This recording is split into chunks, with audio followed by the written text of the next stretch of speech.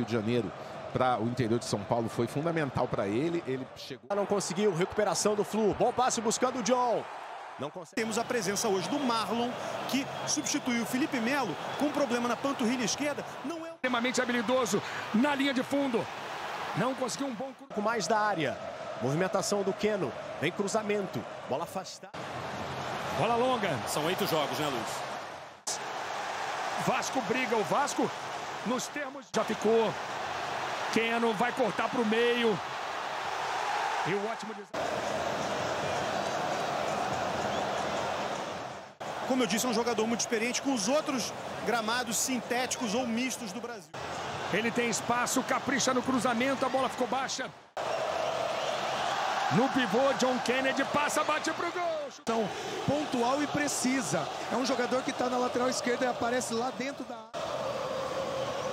Nas finais do Campeonato Carioca, essa dupla foi... Marcelo, tem cruzamento para a entrada da pequena área, não chega no nisso para você e é pressão do Fluminense. Mais um cruzamento, Maicon tira. Trabalhando aqui com Maicon. Bola para o Vasco. Mas aí, Luiz, eu vou eu vou acrescentar mais uma informação a respeito do... Rápida do Fluminense, o John Kennedy mais uma vez com muita habilidade.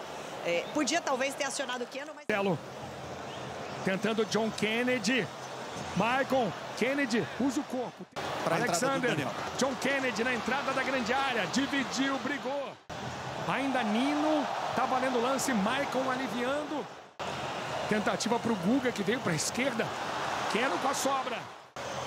Marcelo, tem cruzamento. Tentativa era justamente. Todo mundo vem com o Nino.